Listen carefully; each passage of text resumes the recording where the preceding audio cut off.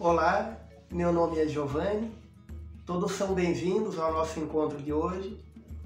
A gente está seguindo com essa série de temas, caminhos espirituais, analisando qual a mensagem básica das grandes doutrinas religiosas, como cada doutrina contribui para o desenvolvimento espiritual do ser humano, ensinando como a gente deve administrar nossa vida de forma correta, cumprir a nossa missão verdadeira aqui na Terra e cada doutrina a gente já está analisando o, a mensagem central, viu como cada religião é, define a missão do ser humano na Terra.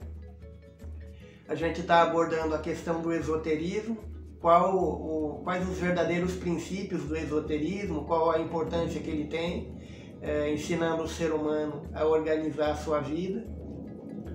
Eu vou começar citando um pensamento do grande teólogo católico Teilhard de Chardin, um dos grandes pensadores do século XX. Teilhard de Chardin dizia assim: Nós não somos seres humanos tendo experiências espirituais. Somos seres espirituais tendo experiências humanas. Então a nossa verdadeira essência é a nossa alma eterna, imortal, indestrutível o corpo é simplesmente um, uma roupa, um instrumento de trabalho para a alma. Então a gente deve ter sempre em mente esse, esse conceito. Eu não sou o corpo, eu estou no corpo. Da mesma forma que o estudante tem o uniforme do, típico do colégio dele, ele tem o uniforme como é, uma forma de se identificar como parte daquela escola, como parte de um grupo é, tem o uniforme como um instrumento de trabalho. O nosso corpo material é também como o nosso uniforme, enquanto a gente está aqui na Terra, nesse mundo material. Mas a gente está no corpo, a gente não é só o corpo material. Então, a nossa verdadeira pátria, como diz o apóstolo Paulo numa das suas epístolas, é o mundo espiritual. O mundo material é uma escola, é um ambiente de trabalho onde a gente põe em prática aquilo que vai aprendendo ao longo do tempo. Mas, é, assim como o estudante está num colégio interno e sabe que depois que acabar o curso ele volta para casa, a gente também vai voltar para o mundo espiritual é, para esse mundo invisível que a gente não percebe ainda, mas que é real, que está em, em, volta de, de, todos nós. E é importante a gente entender, é, ter um pensamento que, que Jesus deixou no seu Evangelho, quando ele dizia assim: é, não se preocupem só com as riquezas da terra, que são provisórias. É, procurem as riquezas do céu, que são eternas e ele dizia assim: as raposas têm seus covis e as aves do céu têm seus ninhos, mas o filho do homem não tem uma pedra onde descansar a cabeça. É, nesse conceito, Jesus não estava reprovando os bens materiais. Ele não estava dizendo que é, é, um pecado muito grande, que é um grande erro ter coisas materiais. Ele estava simplesmente dizendo que não tinha apego excessivo às coisas materiais é, quando convidavam Jesus para um almoço, para uma reunião com amigos, ele nunca recusava, ele sempre é, era uma pessoa muito sociável. Ele convivia de forma harmoniosa com, com todos. É, comia, bebia, é, se divertia com as pessoas. É, ele era bastante tolerante com a sociedade mostrando que ele não tinha apego, mas ele não era contra as situações normais da vida que a gente tem na, na Terra. Então, ser espiritualizado não, não exige que a gente se isole do mundo, que a gente se torne alguém que renuncia a todas as coisas materiais, é, fique num convento, numa caverna, isolado de tudo.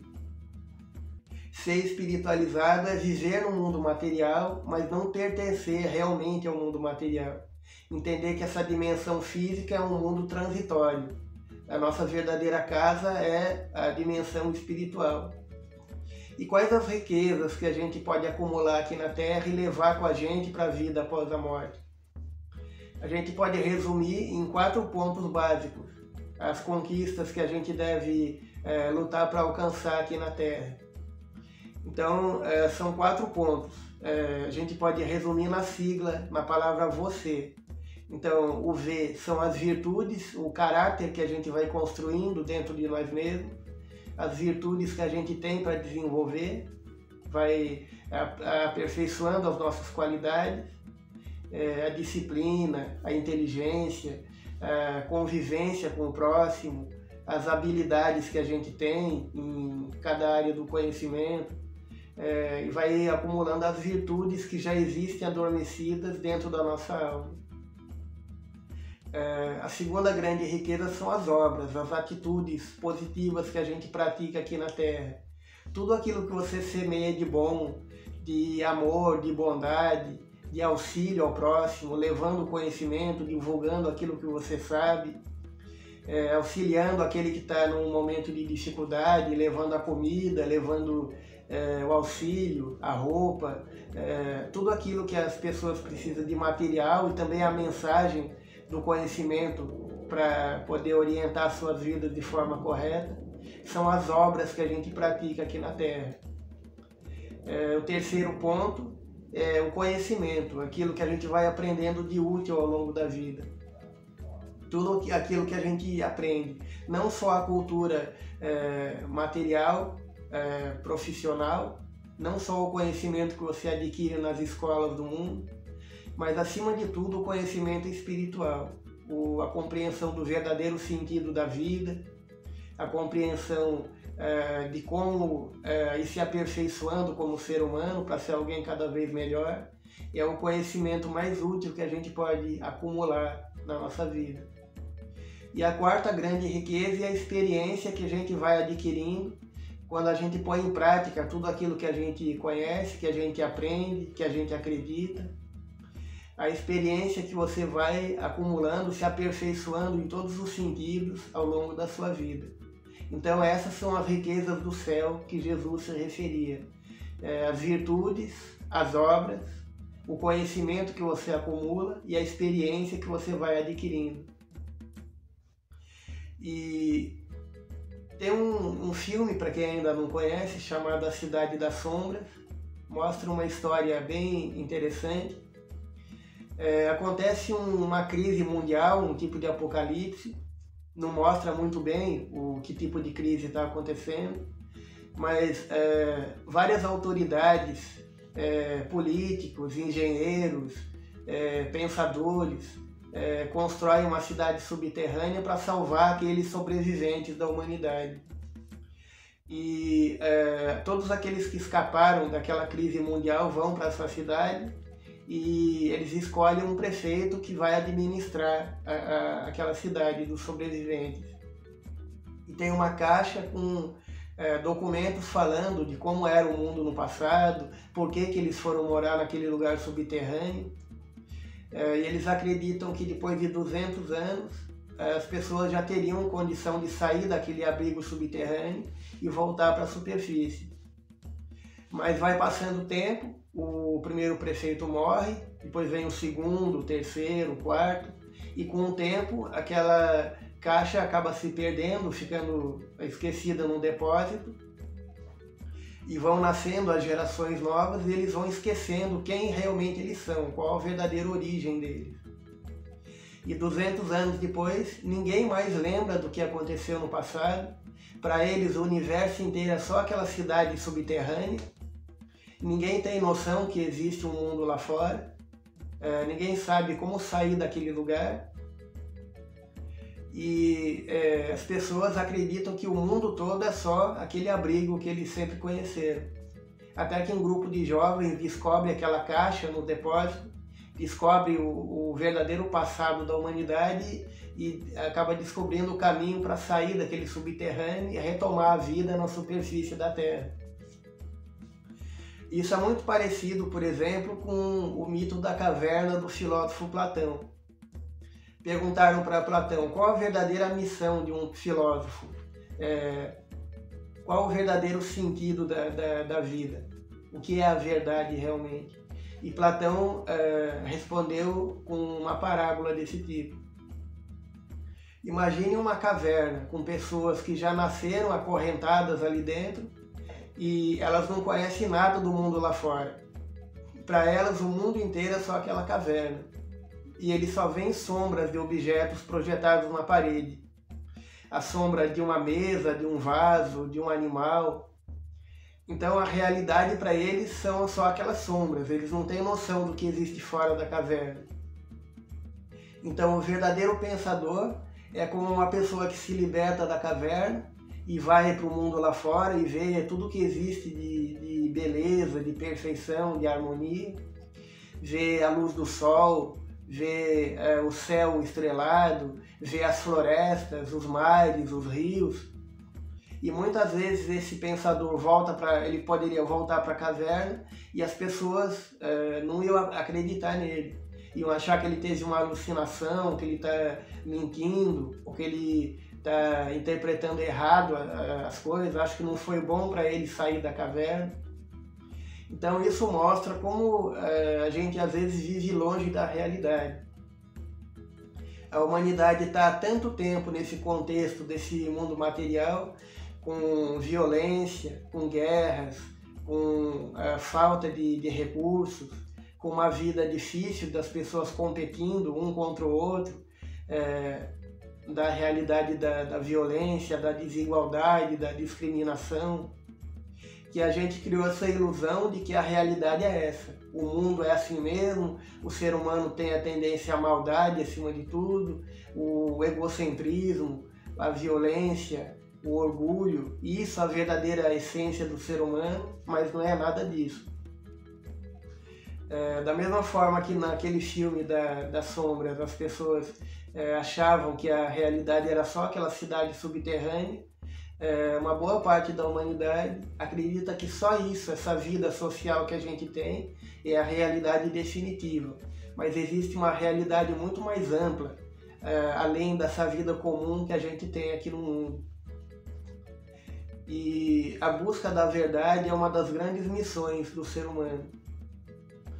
É, perguntaram a um dos maiores pensadores da história, o filósofo Spinoza, do século XVII, é, qual a verdadeira missão do ser humano, que religião a gente deve seguir. E Spinoza respondeu: é, não se preocupem muito com o tipo de, de, religião que vocês estão seguindo. Não se preocupem tanto com é, os objetivos da sociedade. É, vocês devem se preocupar com uma coisa: igualar a sua vontade com a vontade de Deus. A missão, a grande missão do ser humano é igualar o seu objetivo com o objetivo que Deus tem para a humanidade. E qual é esse objetivo? Que cada um de nós desenvolva suas capacidades, se aperfeiçoe como ser humano, que viva é, o amor, a bondade, a disciplina, a retidão em tudo que a gente faz na nossa vida é, sendo um, alguém que vai contribuir para o crescimento da sociedade e da humanidade em geral. Então, viver é, o trabalho útil no bem, procurar o conhecimento, se aperfeiçoar, aperfeiçoar o nosso caráter, é a nossa grande missão de todos os seres humanos na, na Terra. É, e o, esse é o objetivo central do esoterismo o esoterismo procura educar o ser humano para a eternidade, não só para essa vida presente, mas educar cada um de nós como que a gente realmente é. Uma alma eterna, indestrutível, que tem a capacidade de se aperfeiçoando e desenvolvendo suas qualidades e é, crescendo em todos os sentidos, como ser humano e como ser espiritual. Tem uma frase que a gente sempre deve ter em mente a verdade é como o sol, brilha em toda parte e não pertence a ninguém. Então a verdade é universal, está espalhada em todas as religiões, na filosofia, na ciência, na arte, em todas as áreas do conhecimento humano. É, e cada um de nós tem uma porção maior ou menor da verdade. A verdade não pertence a ninguém, é uma conquista universal da humanidade. E é, a gente abordou no vídeo anterior a questão do esoterismo no passado da humanidade, desde as civilizações mais antigas, e a questão das sociedades secretas, como é, essas sociedades contribuíam para a harmonia, para o crescimento da sociedade em cada época do mundo, e contribuem até hoje. É, um pensamento importante do escritor Bertold Brecht dizia assim: Não basta ter sido bom ao deixar o mundo, é preciso ter deixado o mundo melhor. Então a gente sempre deve perguntar para nós mesmos o que você faz de bom realmente, o que você imprime de bom na sociedade onde você vive. Qual a marca que você deixa no mundo para ajudar outras pessoas? É, qual a nossa assinatura básica é, da, da missão que a gente cumpriu aqui na Terra que a gente vai deixar para as outras pessoas quando encerrar essa etapa dessa vida física que a gente tem nesse mundo? Então essas sociedades secretas, e isso eu estou falando das sociedades boas, com tendência ao bem, que sempre trabalharam pelo bem da humanidade, pela semeadura do conhecimento verdadeiro, pelo crescimento espiritual do ser humano. Mas existem também as sociedades secretas voltadas para o mal, comprometidos em dominar a humanidade, em atrasar a evolução espiritual dos seres humanos. E essas sociedades estão infiltradas em todas as áreas das atividades do ser humano na Terra. É, e sempre existiram esses grupos secretos que procuraram influenciar as sociedades para o bem ou para o mal. É, por exemplo, Napoleão, um dos maiores líderes políticos que já existiram, é uma coisa que muita gente não sabe, é que ele consultava sempre uma médium que ele conhecida, conhecia chamada Madame Lenormand. Antes das batalhas, dos planos militares que ele ia executar, ele consultava essa médium para ver o caminho que ele deveria tomar para estar tá dominando aqueles povos da Europa no período que ele teve o seu governo. E muitas sociedades sempre influenciaram a política mundial. É, uma delas existia uma sociedade política secreta eh, voltada para o terrorismo, chamada Mão Negra na Sérvia, no início do século XX. E essa sociedade foi responsável pelo início da Primeira Guerra Mundial. É, foi um dos membros da Mão Negra, um jovem sério chamado Gavrilo Príncipe, que matou o governante do Império Austro-Húngaro em 1914 na cidade de Sarajevo e com isso, com um único tiro que aquele é, terrorista deu, acabou desencadeando uma guerra, a primeira guerra mundial da história, que matou milhões de pessoas e devastou quase a Europa toda com aquele conflito que envolveu a maior parte dos países do mundo. Mas uma coisa importante é que essa sociedade mão negra era ligada também ao ocultismo ao ocultismo voltado para o lado negro, para o lado do domínio da humanidade.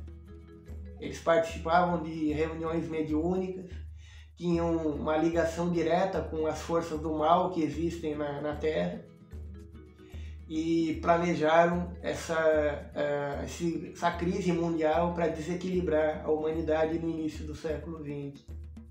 Mas isso fazia parte de um plano muito mais, uh, mais amplo ainda. É, existe uma carta é, manda, que foi mandada em 1871 pelo líder do, da Sociedade Secreta Terrorista dos Estados Unidos, a Ku Klux Klan, uma sociedade racista que procura combater os, os negros, judeus e todos aqueles que não pertencem à raça branca. Eles acham que a raça branca é a raça superior, que tem como missão dominar o mundo. Então, o líder da Ku Klux Klan, o general Albert Pike, mandou essa carta é, para um líder dos Carbonari, uma sociedade política da Itália, o líder Giuseppe Mazzini, já em 1871. E nessa carta, Albert Pike dizia que, é, em contato com sociedades secretas que, que comandavam a sociedade daquele tempo, é, eles tinham tido a informação que veio do mundo espiritual inferior de que a missão deles era transformar a Terra através de três guerras mundiais. Isso já em 1871, 43 anos antes do início da Primeira Guerra Mundial. E ele vai detalhando nessa carta para Giuseppe Mazzini qual seria o plano de transformação mundial que aquela sociedade tinha.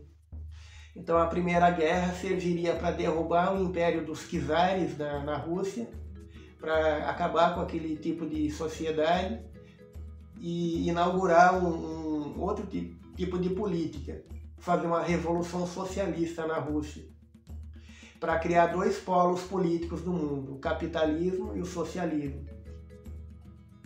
E acabar também com os impérios mais antigos, com aquela política já é, ultrapassada para a sociedade do século XX, os impérios alemão, austro-húngaro, russo, otomano, e inaugurar uma nova ordem política no mundo. A Segunda Guerra serviria para manipular o ódio entre os fascistas e os socialistas, que a essa altura já teriam um poder mundial muito mais amplo nas mãos, e é, criar um, Estado novo para o povo judeu, o Estado de Israel, é, criar um, um, centro de poder ali para o povo judeu que estava espalhado pelo mundo inteiro. Por isso eles promoveram o Holocausto durante a Segunda Guerra Mundial, é, para que o resto da humanidade é, simpatizasse com o povo judeu é, e concordasse com a criação do Estado de Israel. E também para criar um tipo de órgão mundial que unisse todos os países, que foi a ONU, depois a Organização das Nações Unidas. E a Terceira Guerra Mundial é, aconteceria manipulando-se o ódio entre os judeus, entre os sionistas, que são é, aquele, aquela elite do povo judeu, é, que, que procurou criar um Estado, é, um Estado judaico independente e que tem como é, objetivo objetivos também de dominação política da humanidade, não o povo judeu em si, mas esse grupo sionista, que são os líderes políticos da raça judaica. É, e a Terceira Guerra surgiria a partir disso, do conflito entre esses sionistas políticos e os líderes do mundo muçulmano. Então, segundo esse plano, a Terceira Guerra Mundial começaria no Oriente Médio, é, em regiões como o Iraque, o Irã, a Síria, e envolveria o mundo inteiro e teria como objetivo criar uma nova ordem política no mundo. O objetivo que essas sociedades secretas têm, é, e isso, o atentado de 2001 em Nova York seria o início desse processo de transformação mundial. Um dos objetivos deles seria espalhar o terrorismo pelo mundo. Começar em é, cidades mais conhecidas como Nova York, Londres, Roma, Tóquio, e depois é, se espalhar para lugares, países que sempre foram considerados pacíficos. É, países como Canadá, Brasil, Argentina, é, Japão, Austrália, e espalhando esses ataques terroristas para cidades cada vez menores. E isso que acontece no mundo hoje é um, um resto ainda desse plano dessas sociedades secretas. Esses atentados que de vez em quando acontecem em cidades do interior dos Estados Unidos, da Inglaterra, é, da França, do Brasil, de vários países, é, são esse plano de se espalhar o terrorismo pelo mundo e semear o medo, a insegurança na mente das pessoas, para dar a sensação de que nenhum lugar no mundo mais é seguro, que todo mundo está o tempo todo correndo perigo. E o objetivo dessas sociedades secretas políticas seria é, mostrar para a humanidade: vocês veem que o mundo está caminhando para um colapso, nenhum lugar mais é seguro. Então, é, os líderes políticos decidiriam criar um tipo de governo mundial, criar um governo centralizado é, que teria poder de intervir em qualquer país a qualquer momento, criar um tipo de polícia mundial e, com o tempo, com os passar das décadas, e unificando o mundo em torno de uma mesma ideia está é, tá desacreditando as, as, religiões do mundo para semear o ateísmo, o materialismo na, na humanidade, é, criar uma filosofia de vida baseada só no egocentrismo, no, no, no prazer, na diversão, no bem-estar, na busca de bens materiais e unificando o mundo com uma religião só, voltada mais para a filosofia de vida materialista é, com uma única língua, uma única moeda, uma única legislação mundial, uma única constituição. Esse é o objetivo que essas sociedades políticas têm, mas que, segundo as, as obras mais é, recentes da espiritualidade, os livros que abordam o futuro da humanidade nas próximas décadas, esses planos estão sendo fortemente combatidos pelas forças do bem. E como diz o Apocalipse no final da Bíblia, nessa luta do bem e o mal que o mundo está enfrentando nesse momento, o bem vai sair vitorioso. E essas forças políticas voltadas para é, o mal vão ser vencidas ao longo do século XXI. Então, como a gente vê, as sociedades secretas sempre estiveram infiltradas na política mundial, na, é, moldando o estilo de vida das pessoas, é, manipulando o conhecimento que é divulgado para a humanidade, atrasando a evolução da humanidade em todos os sentidos. É, e existem sociedades, é, essas voltadas para o mal, mas as outras voltadas para o bem também, que sempre combateram essas sociedades secretas voltadas para a destruição da humanidade. Uma das sociedades começou com o imperador da Índia, Asoka, que governou a Índia a partir do ano é, 273 a.C. É, foi um grande líder político e ele tinha como sonho dominar uma certa região da Índia. E com isso acabou provocando uma guerra que causou a morte de 100 mil pessoas. E vendo aquela, aquele extermínio que ele acabou causando, ele se arrependeu, teve um remorso muito profundo e decidiu que o ser humano não deveria usar a sua inteligência, o seu conhecimento para a destruição da humanidade, deveria só se usar para o bem. Então, vários autores dizem que o imperador Azoka, no século III a.C., é, criou uma sociedade secreta que é conhecida como a Sociedade dos Nove Desconhecidos. Esse grupo teria nove líderes e teriam os, os, nove livros do conhecimento. Cada líder seria o guardião de um, um, uma obra específica sobre o conhecimento muito mais avançado do que oficialmente existia na sua época. Então, cada livro aborda um tema específico. Um livro aborda a questão da estrutura da matéria, da, da luz, da, da vibração, é, como se comporta é, a estrutura interna da matéria a respeito do magnetismo, da luz. Outro livro aborda a questão da gravidade. Outro dos livros abordaria a questão é, da psicologia da, das massas, como manipular a mente das pessoas através de mensagens ocultas. Alguns dizem que essa sociedade tinha é, um conhecimento, um dos poderes que eles tinham seria o poder de matar uma pessoa só com um único toque de um dedo porque através do magnetismo que eles manipulavam poderiam inverter o estímulo nervoso no organismo de uma pessoa e acabar causando a morte instantânea, é, alterando as correntes magnéticas e elétricas do, do sistema nervoso de uma pessoa. E o que se diz é que essa sociedade secreta existe até hoje, eles têm um conhecimento muito avançado. E um dos membros dessa sociedade dos nove desconhecidos alguns autores dizem que foi o Papa Silvestre II, que comandou a Igreja Católica na Idade Média, no século XI. Uma das coisas que se diz é que é, o Papa Silvestre II viajou para o Oriente, ele teve uma iniciação nessa, nesse grupo secreto, e uma das coisas que ele, que ele tinha na sua sede de poder em Roma seria uma cabeça de bronze, e dizem que ele conversava com essa cabeça de bronze que ele fazia perguntas sobre o destino da humanidade, sobre como administrar a igreja naquele momento, e essa cabeça responderia. O que seria essa, esse artefato que ele teria? Um tipo de interfone, talvez? Um tipo de computador que eles tivessem criado com uma tecnologia secreta, que era mantida uh, longe da grande maioria da sociedade?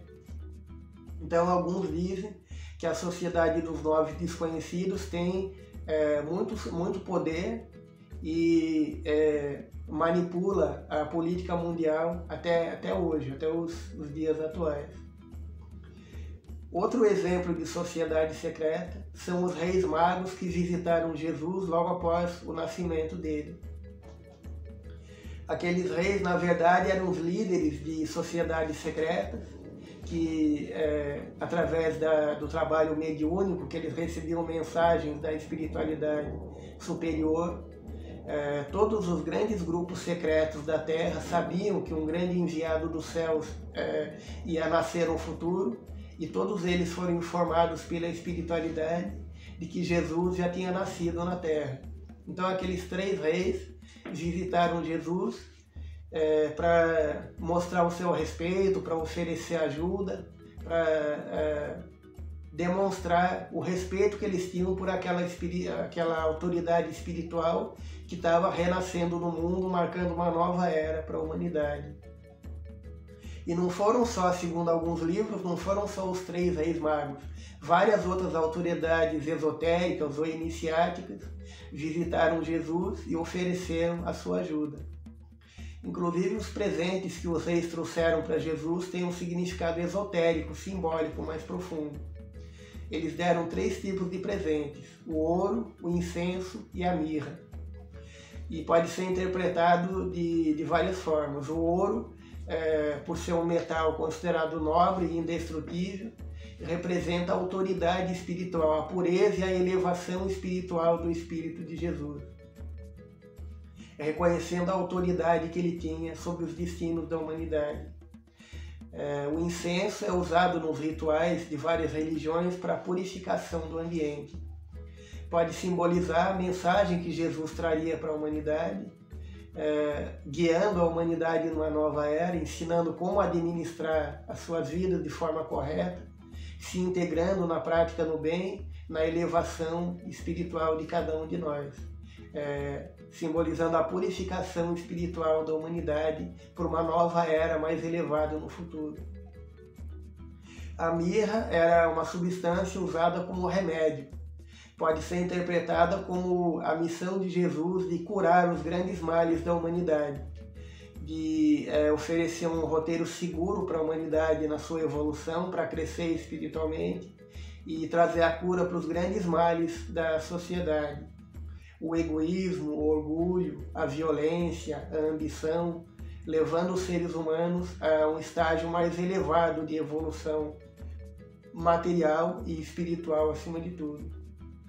Então, como a gente vê, existe por trás de cada símbolo um significado mais profundo, é, como a gente vê nos presentes oferecidos pelos reis a Jesus após seu nascimento. É, e outra coisa importante nas sociedades secretas, além de é, se cultivar o conhecimento espiritual, de fazer as iniciações para promover a evolução espiritual dos seus membros, era também de preservar a história da humanidade, preservar as notícias históricas para que as gerações do futuro tivessem um conhecimento exato daquilo que aconteceu no passado. É, por exemplo, é, até o século XIX, é, muitos historiadores consideravam que a obra do escritor grego é, Homero era simplesmente uma obra de ficção, uma questão de poesia, é, uma questão simplesmente literária. Até que no século XIX, o arqueólogo alemão Heinrich Schliemann partiu da ideia de que o relato de Homero era um relato histórico verdadeiro a respeito da Guerra de Troia. É, porque a Guerra de Troia ocorreu, pelo que se sabe, em torno do ano 1200 a.C., na cidade de Troia, na Ásia Menor, onde hoje fica a Turquia. É, mas a obra de Homero só foi escrita perto do ano 800 a.C. Então os historiadores sempre questionavam é, se Homero publicou a sua obra só 400 anos depois da Guerra de Troia, como que ele teria ali o conhecimento exato daquilo que aconteceu séculos atrás? Porque o mais comum, quando alguém conta uma história para outra pessoa, meia hora depois ela vai repetir para outros, é, a tendência do ser humano é sempre distorcer um pouco os detalhes, mudar um pouco a história.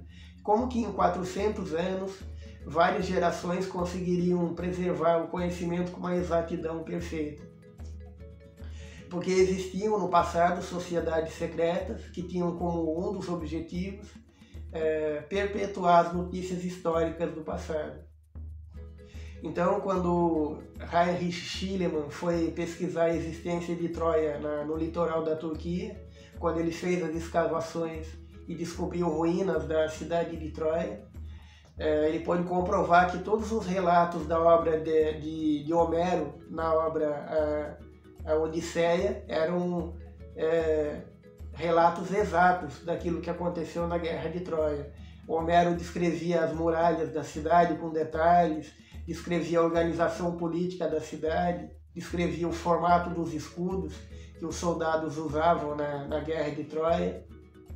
Como que ele poderia saber disso séculos depois da ocorrência da guerra?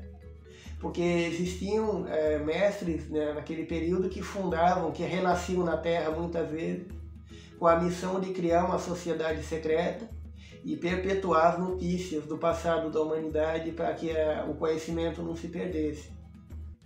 E uma das coisas que essas sociedades faziam era criar uma literatura específica.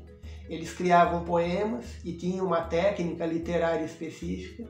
Eles se preocupavam com a, com a rima dos poemas, com a métrica, com a quantidade exata de sílabas em cada verso do poema e eles memorizavam, é, decoravam os versos dos poemas e iam passando de uma geração para outra com uma precisão perfeita, sem se perder nenhuma letra de cada poema, com uma precisão matemática, para é, as novas gerações de iniciados poderem ir passando adiante dentro daquelas sociedades secretas o, o, aquele conhecimento exato da história do passado. Até o momento em que essa sociedade entregou para o escritor Homero o conhecimento exato do passado e ele pôs no papel aquele é, conhecimento a respeito da guerra de Troia. Então, é, um dos pontos básicos dessas sociedades era também a questão de trabalharem como historiadores, perpetuando o conhecimento exato do passado da humanidade. Porque é, escrever livros, qualquer rei da antiguidade poderia é, mandar perseguir as pessoas, os historiadores, poderia mandar matar as pessoas que eles quisessem porque tinham um poder ilimitado nas mãos, poderia mandar queimar o, os livros que existiam, é, mas uma sociedade secreta, longe da maioria da sociedade, é, passando secretamente aquele conhecimento na memória das pessoas em forma de poemas, eles iam perpetuando o conhecimento do passado é, para mostrar como era comum esse, essa perseguição a pessoas que tentavam é, dividir o conhecimento com o resto da humanidade no passado. É, vou citar alguns exemplos. É, em 747 a.C., o imperador da Babilônia, Narboassar, mandou queimar bibliotecas de 25 séculos de, da tradição do conhecimento que existia antes dele porque ele queria apagar tudo que veio antes dele e inaugurar uma nova era para a humanidade. Ele queria ser o primeiro governante de uma era de ouro para a humanidade. Em 221 a.C., o imperador da China, Xin Shi Huangdi, inclusive do nome dele que vem a palavra China, vem o nome do país, é, também mandou queimar bibliotecas com mais de dois mil anos de tradição porque ele também queria inaugurar uma nova era para a humanidade, é, reorganizando toda a sociedade chinesa. E em muitas fases da humanidade isso aconteceu. Também quando os, é, os padres católicos vieram para a América, é, no século XVI, mandaram queimar muitos livros, bibliotecas dos povos maias, incas, astecas, muita coisa acabou se perdendo. E não só nessa época, até na nossa época atual. Por exemplo, durante a Guerra do Golfo, em 91, é, durante um, um, uma batalha na Guerra do Golfo, é, o exército de Saddam Hussein bombardeou uma das ruínas, um zigurate, um dos templos construído em forma de pirâmide no, no Iraque, um sítio arqueológico muito importante do século 27 a.C. Então, um grande registro do passado, uma relíquia arqueológica se perdeu é, em poucos minutos numa batalha durante uma guerra moderna. Então, em todas as épocas, houve essa perseguição contra aqueles que tentavam preservar o conhecimento da humanidade. É, por exemplo, na Biblioteca de Alexandria, no Egito, é, existia, segundo autores da Antiguidade, existia uma obra é, de um sacerdote da Babilônia chamado Berossus, que dizem que cobria um período de 432 mil anos de história da humanidade. Então, civilizações da pré-história, que a gente é, só tem fragmentos hoje em dia, algumas poucas informações, quanta coisa existia registrada nas obras da antiguidade que foi se perdendo a humanidade foi perdendo o, a ligação com esse passado mais remoto de civilizações mais antigas, nessas queimas de arquivos, de bibliotecas, que aconteceram em várias civilizações ao longo da história. E um dos pontos básicos das sociedades secretas era é, ir preservando esse conhecimento para que não se perdesse ao longo do tempo. Inclusive, é, para quem quiser conhecer um pouco mais a respeito disso. Depois eu vou citar a bibliografia, várias obras que abordam a questão do esoterismo. É, existem as obras da teosofia, por exemplo. Existe a obra do escritor Ginara Jadasa, que é um dos grandes é, expositores da filosofia teosófica. Na obra dele, Fundamentos de Teosofia, ele se aprofunda um pouco mais abordando essas sociedades secretas do Oriente, do Himalaia, da Índia, do Tibete. É, essas sociedades mantêm até hoje é, mosteiros ocultos nas montanhas do Himalaia, em templos no, em algumas regiões da Índia, e eles preservam é, o conhecimento do passado em, em, mosteiros ali entre os iniciados é, do budismo, do lamaísmo, de civilizações já desaparecidas milhares de anos atrás, no, que ficaram perdidas no passado da humanidade.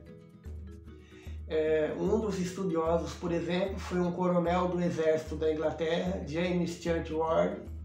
Em 1864 ele lançou um livro chamado Continente Perdido de Mu, que descreve é, uma civilização muito antiga chamada Lemúria que existiu num continente é, no Oceano Índico, que hoje já, já desapareceu nas águas do oceano, num, numa transformação geológica que ocorreu milhares de anos atrás.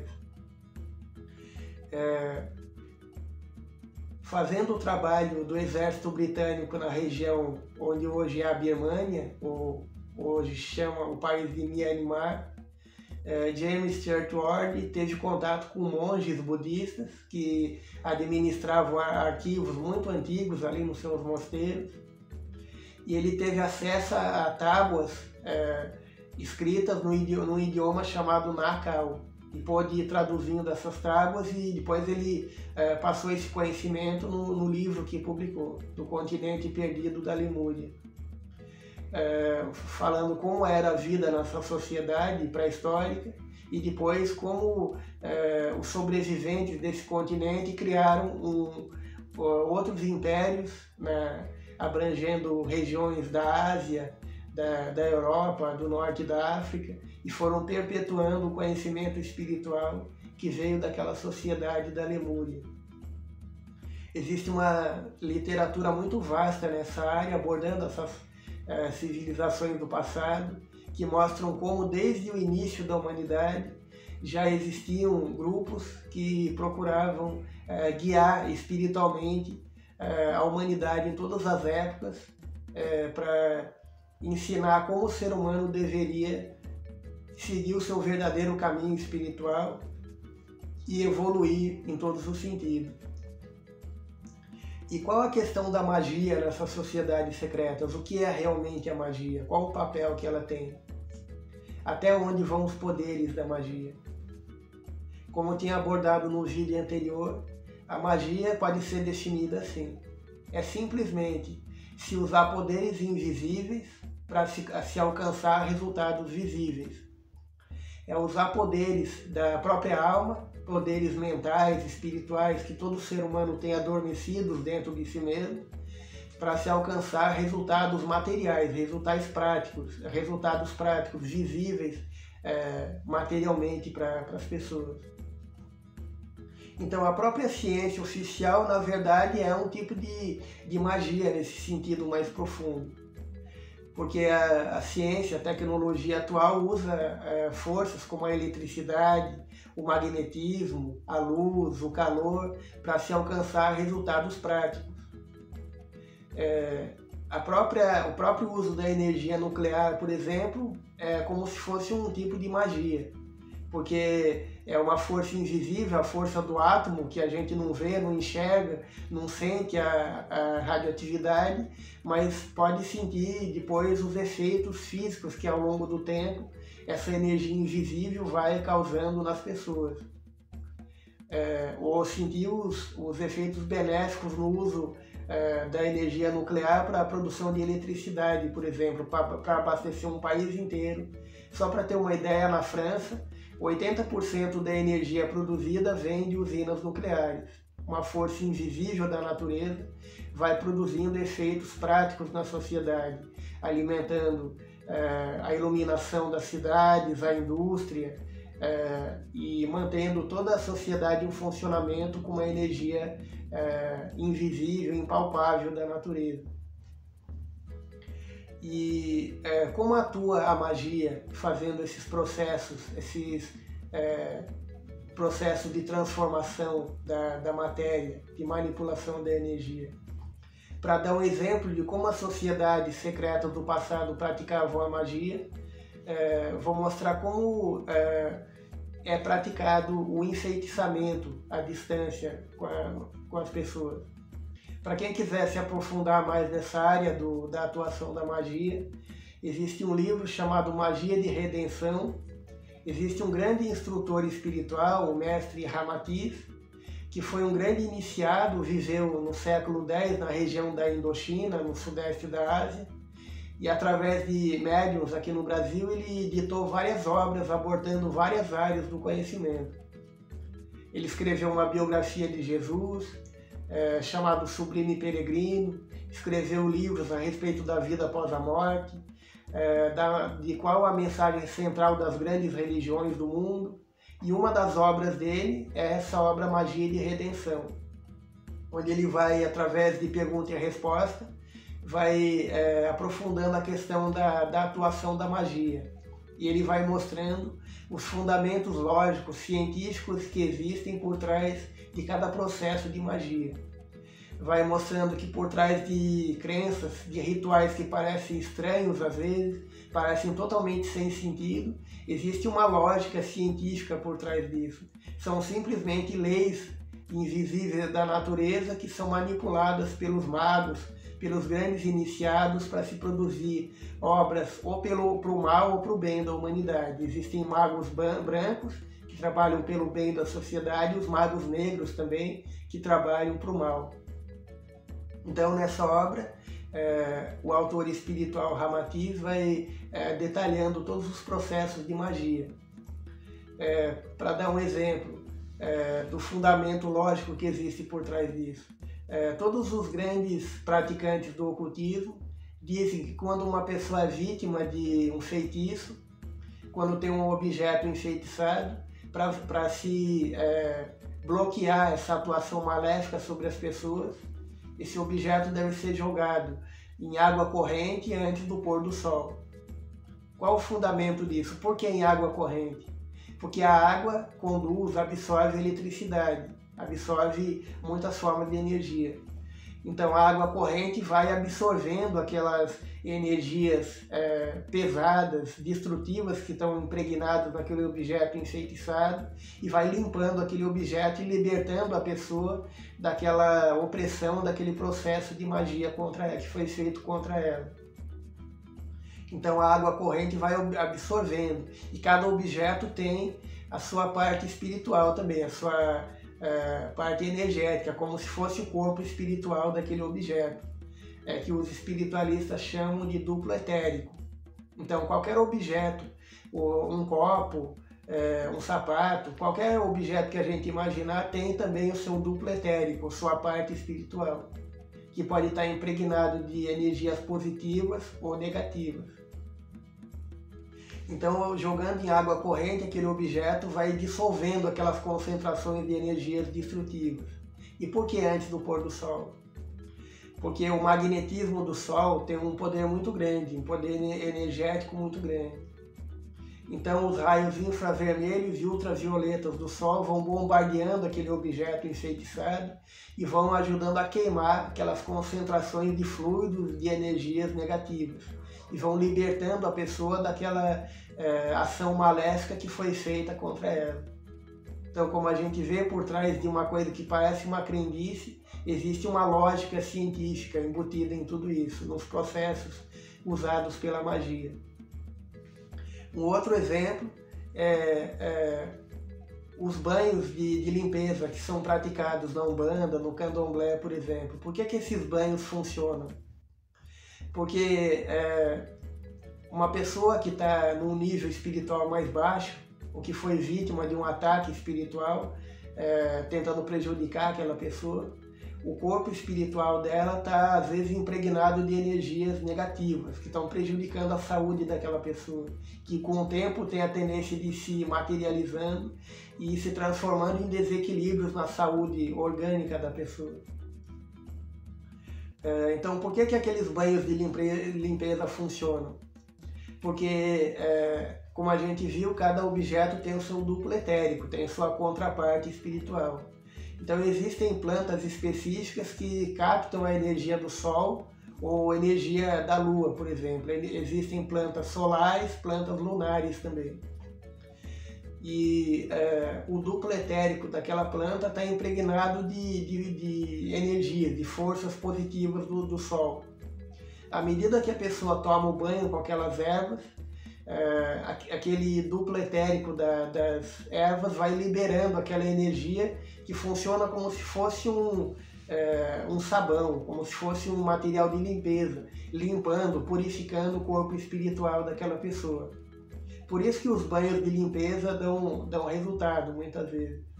E o uso de cristais também, de outras terapias alternativas, é, a cura através do magnetismo, dos passes, a cura através da, da oração, tudo isso vai atuando na parte espiritual do ser humano, no, no nosso corpo espiritual.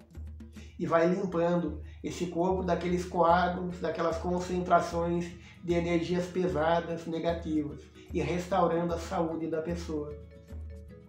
Então, como a gente vê, existem processos benéficos também de magia. Banhos de limpeza, tratamentos com vibrações positivas, com orações é, tudo isso vai ajudando o ser humano a se reequilibrar fisicamente também espiritualmente. E como atuavam esses enfeitiçamentos no passado?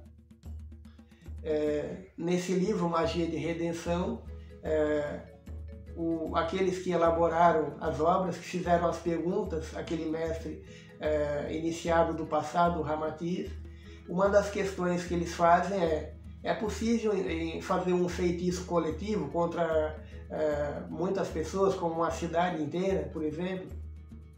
E ele responde: os feitiços coletivos eram muito comuns em civilizações muito antigas do início da humanidade, em civilizações já desaparecidas, como a Lemúria a Atlântida, por exemplo. É, mas quando Jesus veio à Terra e deixou aqui a sua mensagem, é, é, é, como se ele tivesse é, posto um manto de proteção sobre o planeta inteiro. Então esses processos de magia coletiva foram ficando cada vez mais, mais fracos, foram sendo vencidos. Mas mesmo assim, por exemplo, durante o período da Idade Média, aconteceram alguns processos de feitiço coletivo, casos de histeria coletiva, por exemplo, de loucura coletiva, de pessoas que eram dominadas por uma insanidade temporária. Por exemplo, no período colonial do Brasil aconteceu também um caso de histeria coletiva no interior de Minas Gerais, no, no século XVIII. É, e isso acontece às vezes quando uma sociedade é, que não está muito elevada espiritualmente é atacada por um grupo de espíritos que tentam desequilibrar aquela, aquele grupo social. Também acontece em várias é, partes do mundo. Então, esses feitiços eram comuns no, no passado. E como os magos negros é, atuavam nisso? Então, nesse livro vai descrevendo como eram esses processos de, de é, ataque espiritual.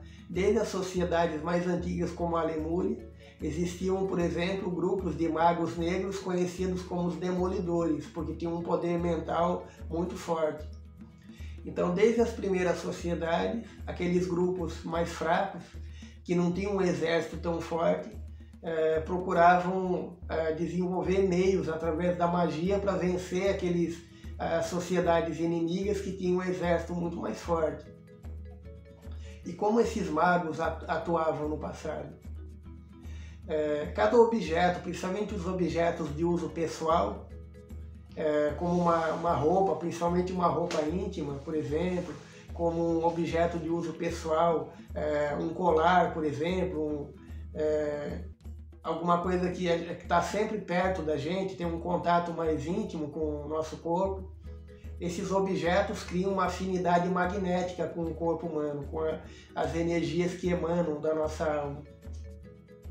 Então, é, através desses objetos é possível se mandar uma carga energética ou é, positiva ou negativa, e esses objetos atuam, é, o nome é, de, que é dado para esses objetos é endereço vibratório, porque esse objeto tem uma ligação magnética com seus donos e ele absorve essas energias e manda para o endereço, endereço correto, para a pessoa que é a dona do objeto. Então aqueles magos negros do passado iam até a sociedade inimiga, é, eles iam ali escondidos, pegavam, é, por exemplo, o barro que as pessoas pisavam o tempo todo, que tinham um contato mais é, direto com aquela sociedade, pegavam pedaços de madeira, por exemplo, e esculpiam bonecos, representando, como a gente vê em filmes, por exemplo, aqueles processos de enfeitiçamento do, do voodoo, por exemplo, que a pessoa pega um boneco e vai prejudicando o outro, manipulando aquele, é, aquele objeto. Então, os magos do passado pegavam uh, substâncias daquelas sociedades e se reuniam, uh, principalmente durante o período de lua cheia, porque uh, existem as leis específicas do magnetismo.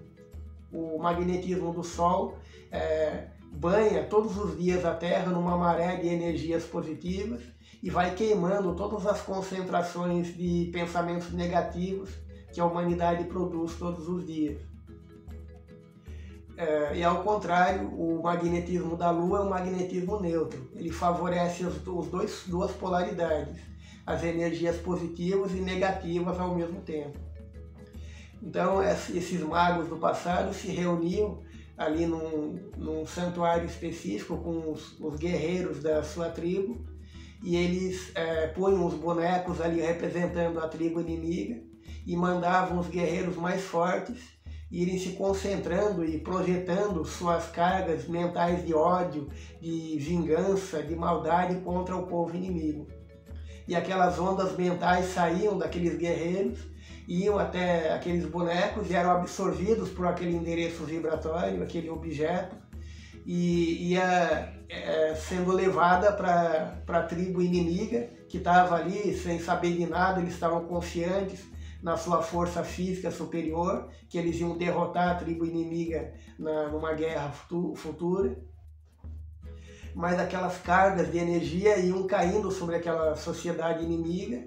E aqueles guerreiros que muitas vezes não eram muito vigilantes do ponto de vista espiritual, não tinham uma vibração muito elevada de bondade, de retidão, de disciplina, então eles iam se deixando é, dominar por essas energias, iam absorvendo aquelas energias negativas, iam ficando fracos, ia caindo de forma muito forte aquela carga energética destrutiva sobre aquela sociedade, e os guerreiros inimigos iam ficando fracos, iam perdendo a, a, a, as forças, a força de vontade, iam ficando doentes, é, muito debilitados e é, muitos, muitas vezes acabavam até morrendo por causa daquele ataque energético que era feito por aqueles magos negros da, da tribo inimiga. Então, no passado existiam verdadeiras guerras mentais de magia de um povo contra outro. Em civilizações como o Egito, a Suméria, a Babilônia e muitos povos que existiram no passado. E existia uma verdadeira guerra das sociedades secretas do bem, que promoviam a evolução da humanidade, contra essas sociedades secretas do mal, que tentavam é, sempre estar prejudicando os vários grupos humanos em cada época da humanidade. Mas é, é possível a gente se livrar de um processo de magia? É possível a gente ter defesas espirituais contra isso? é totalmente possível, é simplesmente a gente seguir o que Jesus orientava. Ele dizia: orai e vigiai. É, procurem ter a oração, ter a fé sempre viva dentro de vocês e procurem vigiar o seu comportamento o tempo todo. Vigiar os seus pensamentos, seus sentimentos, ter um padrão de uma vibração espiritual mais elevada possível. Em torno de cada ser humano existe um campo de energia que é, o espiritualismo chama de aura. E essa aura é, tem uma estrutura diferente de acordo com o padrão de comportamento que cada pessoa tem. Aquela pessoa que não tem uma vigilância muito grande, que se deixa levar por pensamentos negativos, de, de raiva, de inveja, de materialismo, é, que tem um comportamento mais inferior, uh, vai enfraquecendo a sua aura. E ele, a, essa pessoa tem uma aura absorvente, que absorve as energias que vêm, é, positivas ou negativas, que vêm para essa pessoa. Mas aqueles que têm um padrão elevado, superior de comportamento, voltado para o bem, para a disciplina, para as atitudes de caridade, de, de, de auxílio ao próximo, vão fortalecendo esse campo de energia e eles têm uma aura refletiva. É como a gente vê em filmes. Alguém dispara um raio, aí a pessoa mostra um espelho, aquele raio vem, bate no espelho e volta para aquele que disparou é, o raio. Então as pessoas mais elevadas espiritualmente vão fortalecendo o seu campo de energia e vão criando em torno de si um campo de defesa, vão criando uma aura refletiva ao contrário da área da aura absorvente daqueles que se deixam dominar pelos processos de magia, aqueles que têm uma conduta mais elevada têm uma aura refletiva em torno de si. Então, eh, alguém pode fazer qualquer trabalho de magia que seja. Aquelas energias pesadas vêm, batem na aura da pessoa e voltam para o próprio feiticeiro que mandou aquele tipo de feitiço contra a pessoa. Por isso que os grandes magos negros têm muito medo de, é, de combater pessoas muito elevadas, como um Francisco de Assis, como é, uma Teresa de Calcutá, como os grandes é, líderes espirituais da humanidade que tem uma conduta muito elevada voltada só para o bem da humanidade, porque essas pessoas têm uma aura refletiva, têm um campo de defesa em torno de si. Qualquer energia negativa que chega até eles bate na sua aura e volta para os próprios autores daquele ataque espiritual. Por isso que os grandes, grandes magos voltados para o mal têm muito respeito e muito temor até dessas pessoas espiritualmente muito elevadas porque elas têm uma defesa natural em torno de si. Estão naturalmente defendidas das forças do mal pela sua conduta espiritual superior. Então, como a gente vê, os processos de magia sempre existiram, existem até hoje. Depende de cada um de nós estar é, tá se fortalecendo espiritualmente para vencer esses ataques que, que vêm das forças espirituais inferiores. Depende de cada um de nós é, ser forte ou ser mais fraco em relação ao ataque das forças do mal. E nessas sociedades secretas, voltadas para o bem, sempre se procurou combater essas forças do mal uh, e libertar as sociedades humanas desses ataques da espiritualidade do mundo inferior. Então, o esoterismo tem como objetivo equilibrar o ser humano educar o ser humano como um ser eterno, como um espírito eterno, imortal, indestrutível, e ensinando as pessoas a criar dentro de si e consolidar uma consciência é, voltada para o bem, voltada para a disciplina, voltada para uma vida de retidão, de equilíbrio, para criar dentro de nós uma consciência definitiva, voltada só para o bem da humanidade e para o bem de nós mesmos. É o objetivo central da doutrina esotérica, de todas as sociedades esotéricas que existiram desde o início da humanidade. No, no, outro vídeo a gente vai aprofundar um pouco mais como era a vida nessas sociedades secretas do passado, o que eles faziam nessas sociedades, como eles trabalhavam pelo bem da humanidade. E para quem quiser se aprofundar mais nesse tema, é, vou indicar alguns livros. Por exemplo, para quem quer conhecer sociedades de, da época da, da Lemúria, da Atlântida, existem os livros do escritor é, Edgar Armond, existe o livro Almas Afins, onde ele é, vai descrevendo um grupo de espíritos muito elevados que trabalharam no bem desde os primeiros agrupamentos humanos até o Egito, é, 1300 anos antes de Cristo, ele mostra como era, eram os bastidores dos santuários do Egito, como aqueles sacerdotes iniciados trabalhavam pelo, pela elevação espiritual da humanidade. Tem outro livro chamado uh, Na Cortina do Tempo, onde ele mostra a decadência e o fim da civilização da Atlântida, como os iniciados daquele povo foram uh, avisados pelo mundo espiritual para se salvar da destruição daquela civilização, como eles migraram para outras partes do mundo e fundaram outras civilizações, como a América pré-colombiana, dos maias, incas, astecas, os povos como os egípcios, os sumérios, e outros povos espalhados pelo mundo.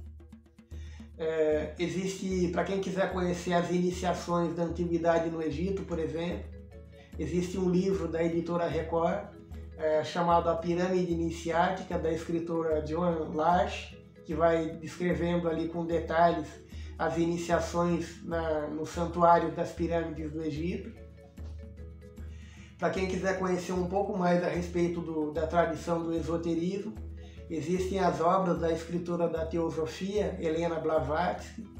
Tem é, duas coleções importantes. É, os livros Isis Sem Véu, que Blavatsky publicou em 1877, onde ela vai descrevendo toda a sua experiência viajando pelo mundo inteiro, é, entrando em contato com sociedades secretas de várias partes do mundo, passando pelas iniciações mais exigentes para conhecer o conhecimento esotérico tradicional da humanidade.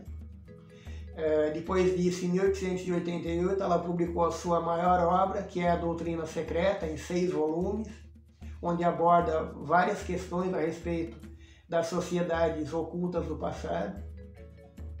Inclusive, um dos volumes mais interessantes é o volume onde ela trata do simbolismo arcaico universal, onde vai descrevendo todo, toda a linguagem simbólica que as sociedades secretas usavam para se comunicar entre si ao redor do mundo no passado.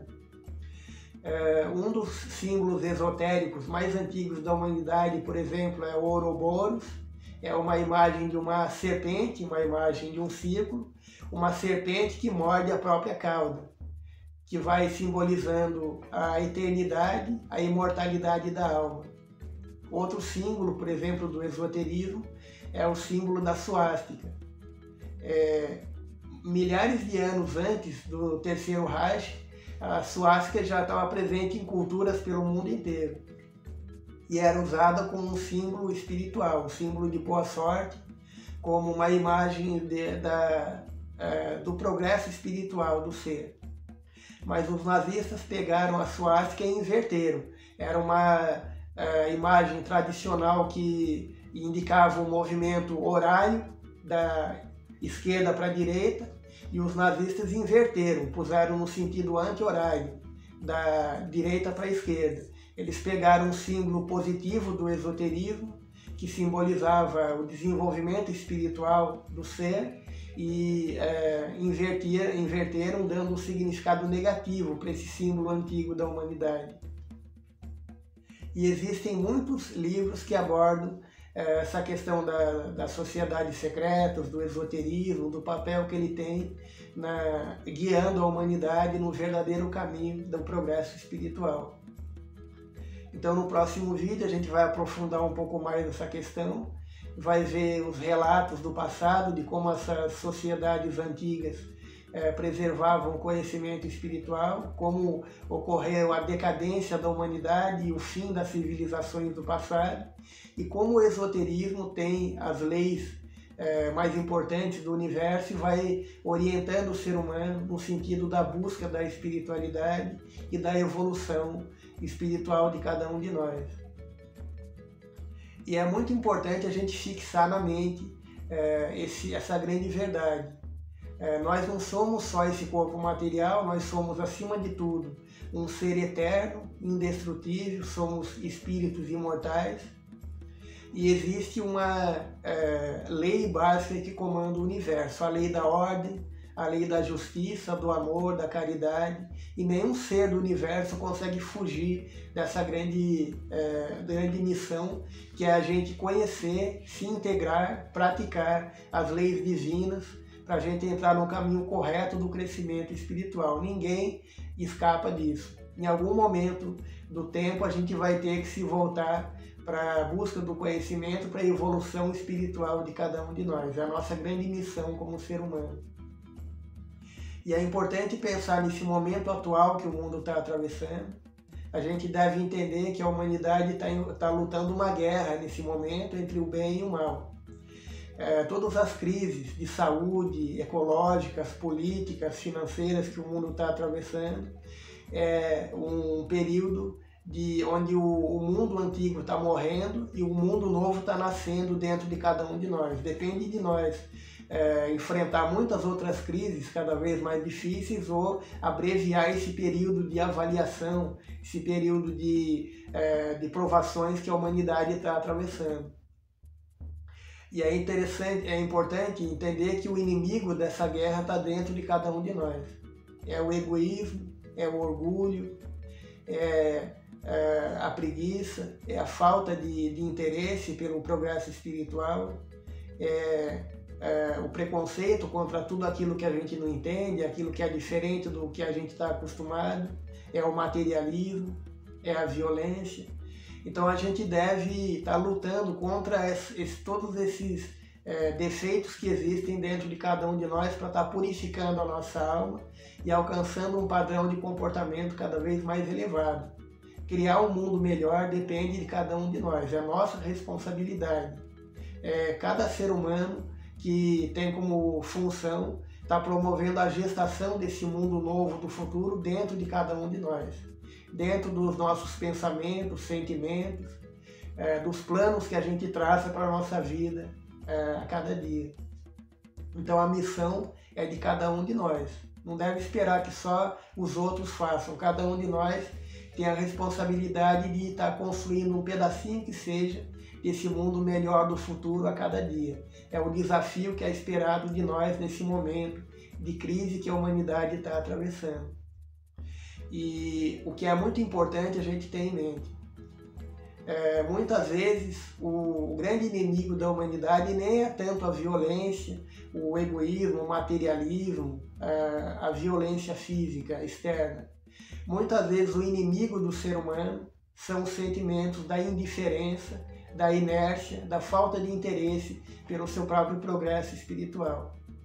Tem centenas de pessoas que a gente vê nas ruas, com quem a gente às vezes tem contato, que são pessoas boas, corretas, honestas, têm uma vida totalmente honesta, não prejudicam ninguém, mas muitas vezes não tem nenhum interesse pelo, pela busca do conhecimento verdadeiro, conhecimento espiritual é, não tem é, interesse de, de estudar é, uma coisa mais elevada, de alcançar um padrão de comportamento mais elevado. Então, é, muitas vezes, muitas pessoas estão é, acostumadas a uma vida muito simples, pensando só na busca é, do dinheiro, na busca da, das vantagens pessoais, ter uma vida relativamente tranquila e às vezes acabam fugindo, descuidando do seu, de promover o seu próprio crescimento espiritual.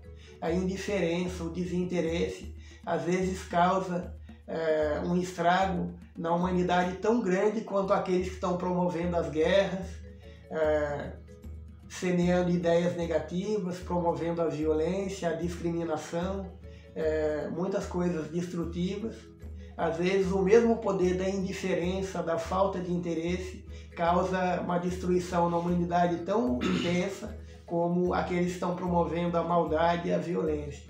Então depende de cada um de nós despertar nesse momento da humanidade e promover seu próprio crescimento espiritual em todos os sentidos. Vou finalizar lembrando o pensamento do apóstolo Paulo, é, um dos grandes mestres do, do cristianismo, um dos maiores divulgadores da mensagem de Jesus no mundo da antiguidade. E Paulo, na Epístola aos Romanos, no capítulo 13, versículo 11, diz assim: Já é hora de despertar do sono, pois a salvação está à nossa frente. Então já é hora de cada um de nós despertar para o seu crescimento espiritual, procurar é, cuidar sim da sua vida material, profissional, social, em todos os sentidos da vida que são exigidos pela vida humana aqui na Terra, mas cuidar também do seu lado espiritual, cultivar é, pensamentos e sentimentos elevados, auxiliar o próximo, divulgar, dividir com os outros o que você tem de melhor, o que você sabe, os recursos que você tem, para levar a sociedade a um nível de equilíbrio cada vez maior. Então a gente abordou a questão do esoterismo, das leis da magia, da atuação das sociedades esotéricas no bem da humanidade e a gente vai aprofundar um pouco mais esse tema no próximo vídeo. Então, se esse vídeo foi útil para você, procure compartilhar com outras pessoas, procure aprofundar mais esse conhecimento, pôr em prática aquilo que vai aprendendo para ser um ser humano cada vez melhor. Tem vários outros vídeos sobre vários assuntos que a gente é, aborda, vários temas diferentes, para poder ter um conhecimento mais profundo sobre várias áreas importantes que enriquecem a nossa vida de conhecimento, de orientação intelectual e espiritual.